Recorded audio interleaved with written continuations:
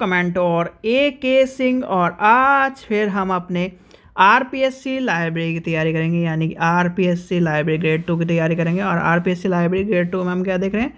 आपका theory section यानी कि पी वाई क्यू आपको करा दिया गया है और पी वाई क्यू आपको कहाँ मिलेगा? टेलीग्राम ग्रुप पर आपका पी वाई क्यू कराया गया तो वहाँ पर आपको टेलीग्राम ग्रुप से पी वाई क्यू निकाल लेना है और आपको क्या करना है? हमें क्या करना है? आप पी वाई क्यू की उससे प्रैक्टिस करिए, जिससे आपके क्या है, जो सौ क्वेश्चन दिए गए, सौ के सौ आपको अगर आपसे कोई नींद में पूछे तो आपको याद होने चाहिए वो क्वेश्चन सारे के सारे कि उसका आंसर क्या है? बिना ऑप्शन देखे यानी कि क्या है? बिना ऑप्शन देखे आपको क्या है? उसका कोई आंसर याद होना चाहिए। और वो आपका पेपर कहाँ मिलेगा? टेलीग्राम ग्रुप पे मिलेगा और प्ले में। यानी कि R P S C library grade two की प्ले है, उसमें भी आपको सॉल्व कराया गया है। तो चलिए आज का टॉपिक देखते हैं। आज का टॉपिक क्या है? यानी कि कैटलॉगिंग यानी कि आपका आज का टॉपिक क्या है? कैटलॉगिंग और जो भी क्या है स्टूडेंट नए हैं, वो क्या करें टेलीग्राम ग्रुप को ज्वाइन कर लें। यूट्यूब चैनल को सब्सक्राइब कर लें वीडियो को लाइक करें शेयर करें और ज़्यादा से ज़्यादा, और जो पीडीएफ है, और जो भी सारे पीडीएफ आपको मिलेंगे, यानी कि आपको पीवाईक्यू या फिर आपके मॉक टेस्ट के जो पीडीएफ है, वो आपको टेलीग्राम ग्रुप में मिलेंगे, इसलिए टेलीग्राम ग्रुप को ज्वाइन करके रख लेना है। ठीक है? जब आपकी फिफ्टी परसेंट थ्योरी क्लासेस हो जाएँगी, तब आपके क्या है प्रैक्टिस टेस्ट और मॉक टेस्ट आपको कराए जाएँगे, जिससे क्या हो, एक बेहतर तैयारी हो जाए। तो चलिए आज का टॉपिक देखते हैं। आज का टॉपिक हम क्या करते हैं? सबसे पहले आता है कोलो यानी कैटलॉगिंग ठीक है, आज हम जानेंगे कैटलॉगिंग फिर इसके बाद नीड एंड पर्पसेस को कल आपको बताऊँगा मैं बिल्कुल सही तरह से। क्योंकि नीड और पर्पसेस है तो छोटा टॉपिक पर कहीं ना कहीं पहले कैटलॉग की बात आती है। यानी कैटलॉग क्या है? चलिए नीड और उसको कल ही देखेंगे, क्योंकि इसमें जो पहली बात है कैटलॉग आपको जानने की बात आती है। कैटलॉग है क्या? यानी कि कैटलॉग की बात आती क्यों है? या फिर एक तरह से कैटलॉग हम जो लेके चलते हैं कि कैटलॉग कैटलॉग जब करते रहते हैं लाइब्रेरी में, जब आपको दो सेमेस्टर होते हैं, यानी कि फ़र्स्ट सेमेस्टर में हमें क्या क्या सिखाया जाता है? डी डी सी सी सी फिर आपको सेकंड सेमेस्टर में क्या सिखाया जाता है? Catalogue cards. अब कैटलॉग कार्ड्स जो हैं, वो आपके क्या प्रेजेंट कर रहे हैं?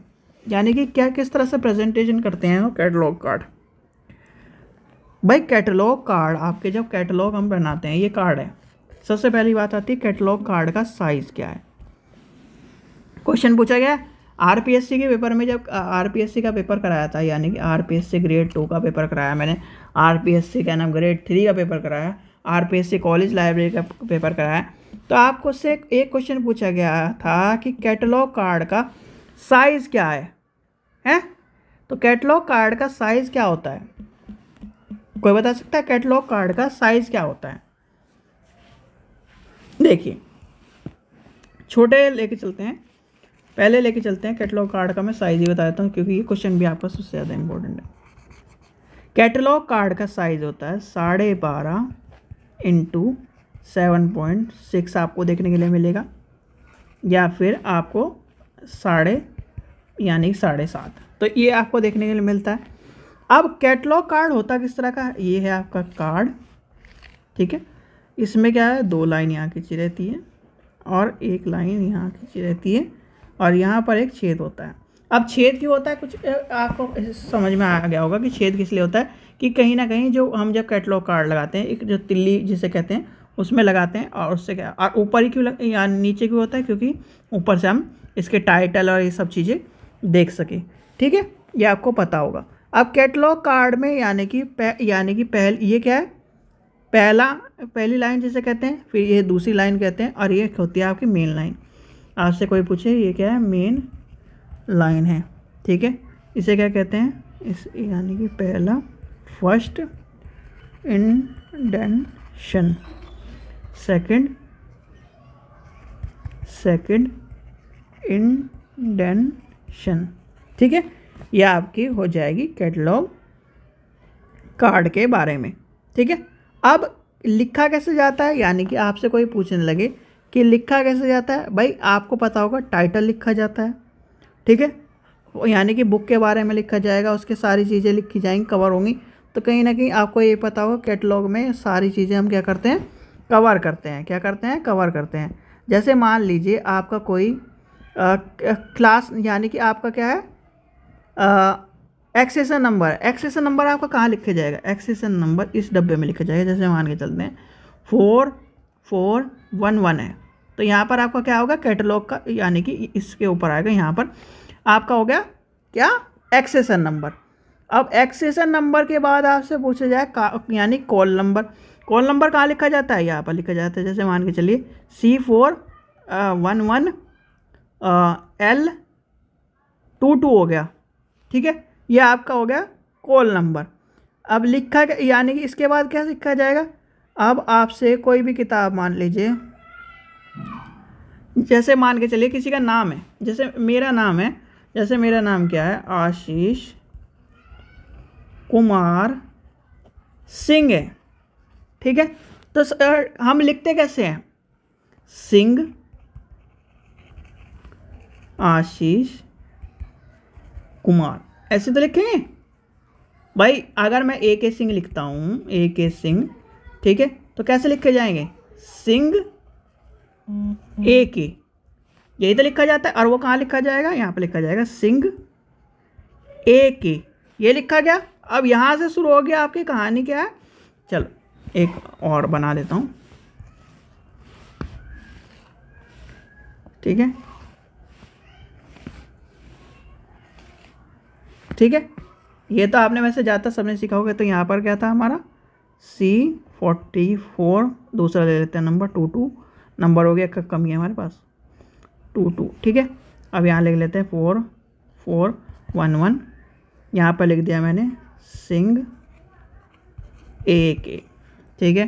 टाइटल लिख देते हैं. चलो, राजस्थान लाइब्रेरी ने कर देते हैं. अभी क्या ना, इससे मैच में बिना मैच करे बता रहा हूँ मैं आपको. यानी कि राजस्थान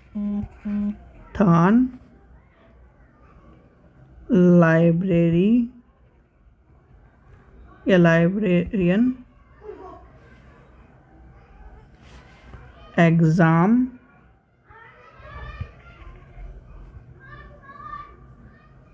दो हज़ार चौबीस। ठीक है, ये हो गई आपकी। अब आपको क्या लिखना है, हमें क्या लिखना है, यहाँ पर इसके बाद क्या आ जाएगा? क्या आएगा? यानी कि इसके बाद आपका सेकंड नेम आता है। यहाँ पर क्या आता है? सेकंड नेम सेकंड नेम किसका? जो ओथर बोथर यानी कि जैसे ये तो मेन नेम हो गया। ये क्या होता है? मेन नेम जिसे क्या कहते हैं? मेन नेम जो पहला नाम होता है, वो मेन नेम होता है। सेकंड नेम हो गया, ये हो गया। फिर इसके बाद क्या है? इसके बाद आपका क्या है? पब्लिशर यानी कि पब्लिकेशन क्या है? जैसे क्या है? परीक्षा सहपाठी। ठीक है? यहाँ तक आपका आ जाएगा पब्लिशर फिर इसके बाद क्या आ जाएगा? इसके बाद आपके जितने भी क्या हैं, चीज़ें हैं, वो यहाँ पर आनी शुरू हो जाएँगी। तो इस तरह से हम क्या क्या कैटलॉग का कार्ड बनाते हैं, ठीक है? तो कैटलॉग का कार्ड आपको मेनली समझ में आ गया, वैसे भी ये क्वेश्चन कभी पूछा नहीं जाएगा, ठीक है? पूछा क्या जाता है आपसे? ये तो मैंने आपको बता दिया, ये वाला क्वेश्चन पूछा जाता है। यानी कि कैटलॉग कार्ड का साइज़ क्या होता है, ठीक है? सबसे ज़्यादा क्वेश्चन क्या पूछा जाता है? कैटलॉग कार्ड का साइज़ कितने, क्या होता है? अब कैटलॉग कार्ड के क्या है? यानी कि उसमें जो टाइप्स ऑफ़ इनर फॉर्म्स होते हैं, उसमें आपको पता है अल्फ़ा अल्फ़ाबेटिकली क्लासिफाइड और अल्फ़ा क्लासिफाइड ये तीन टाइप होते हैं उसके। या एक तरह से कैटलॉग के तीन टाइप मान लीजिए। ठीक है? यहाँ तक आपको समझ में आ गया, चीज़ें समझ में आ गई। अब आती है बात कि कैटलॉग की ज़रूरत हमें क्यों पड़ी? कैटलॉग क्या है? अगर आपसे एक शब्द में कहूँ कि कैटलॉग क्या है, आप क्या बताओगे? भैया कैटलॉग एक तरह का आइडेंटिटी कार्ड है, यानी कि आईडी कार्ड है, एक किताब का। क्या है? कैटलॉग क्या है? आपका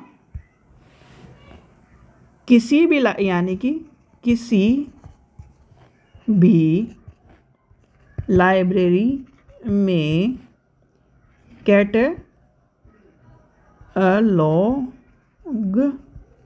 card C R D card किसी भी लाइब्रेरी में कैटलॉग कार्ड एक बुक का का आईडी कार्ड होता है, जिससे जिससे जिससे उस बुक की सारी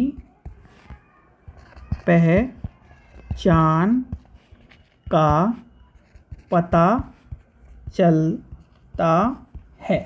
क्या होता है? जैसे भाई आपका क्या है? आधार कार्ड है ठीक है? आपका क्या है? पैन कार्ड है। तो आधार कार्ड और पैन कार्ड क्या शो करते हैं? यानी कि एक ए, एक यूनिवर्सल है ठीक है?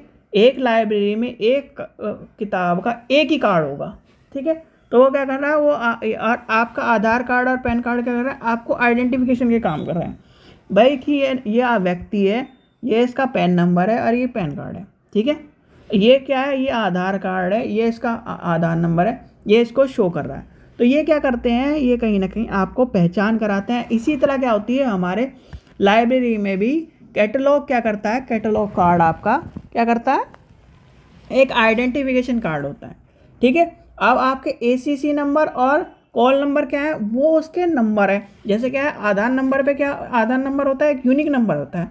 कैटलॉग इसमें पैन क्या होता है पैन नंबर होता है, एक यूनिक नंबर होता है। तो ऐसे ही क्या होता है, हर लाइब्रेरी में कॉल नंबर और एक्सेशन नंबर क्या होते हैं, एक यूनिक नंबर है। यानी कि एक यूनिक आइडेंटिफिकेशन नंबर होता है। कैटलॉग कार्ड क्या है कार्ड कार्ड क्या है, एक आइडेंटी कार्ड के तौर पर काम करता है। यानी कि एक आईडी है जो क्या है लाइब्रेरी में कैटलॉग की, यानी सॉरी, बुक की पहचान कराता है। तो ये कहीं ना कहीं चीज़ें हमें पढ़नी है और इसके बाद हमारे नीड एंड पर्पजेज पढ़ेंगे, जो कि हम घर पर पढ़ेंगे कल। ठीक है बच्चों तो आपको आइडेंट यानी कि कैटलॉग कार्ड का पता लगेगा कैटलॉग कार्ड का साइज़ पता लगेगा कैटलॉग कार्ड यूज़ किस तरह करना है, और कैटलॉग कार्ड अगर एक आप प्रैक्टिकल यानी कि प्रैक्टिकल की मैं आपको क्लास में करा दूँ कैटलॉग कार्ड में देखो, बनाना देखो, मैं भी कहूँ, मैं भी लाइब्रेरी में, यानी लाइब्रेरी के उसमें रह चुका हूँ प्रोफेशन में तो ये आने की कैट, भाई मेरे को तो सीधी बात है भैया कैटलॉग कार्ड ईजी लगता है। और आपके number C C P C के नंबर से निकालने से। क्योंकि उसमें सारी चीज़ें इन्वॉल्व होती हैं तो कैटलॉग कार्ड ईजी है। ठीक है? आप, उसमें आता है catalogue card volume one volume two वाला, वो वाला भी मैं बता दूँगा आपको कैटलॉग कार्ड मेन भी बता दूँगा। वॉल्यूम वन और वॉल्यूम टू में कुछ नहीं होता, सिर्फ़ वॉल्यूम वन और वॉल्यूम टू लिखा जाता है, उसी के पीछे लगते हैं कार्ड ठीक है? चलिए, आशा करता हूँ आपको वीडियो पसंद आई। वीडियो पसंद आई तो लाइक करें, चैनल को सब्सक्राइब करें, वीडियो को ज़्यादा शेयर करें। Thank you